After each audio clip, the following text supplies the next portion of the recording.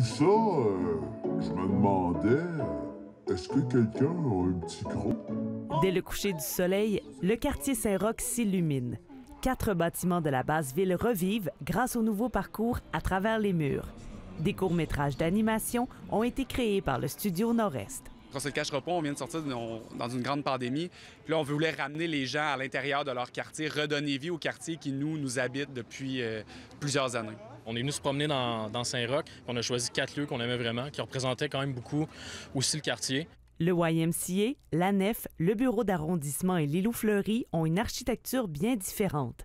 Adapter la projection à chaque bâtiment a été un défi technique pour les concepteurs. Il y a une espèce de côté expérimental. le canevas nous parle, nous, il faut travailler avec lui. Donc, à travers tout ça, il y a un échange qui était vraiment euh, stimulant créativement. Les créateurs souhaitaient un ancrage entièrement local pour ce projet. On a demandé, dans le but que le projet soit le plus englobant possible pour la ville de Québec, des artistes de la ville de Québec qui pourraient nous prêter leur voix pour donner vie aux personnages qu'on a créés, aux histoires qu'on a voulu raconter. L'auteur-compositrice-interprète Gabrielle Schank est une des artistes qu'on peut entendre. Tu collectionnes ces moments-là, tu les gardes pas loin dans ton sac à dos, puis tu les ressors quand il faut.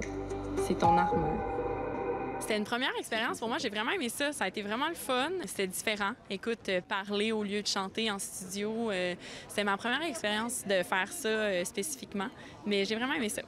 Pierre Yvelore, Corias et Tire le Coyote ont également participé à titre de narrateur. Le parcours à travers les murs est visible tous les soirs jusqu'au 5 octobre.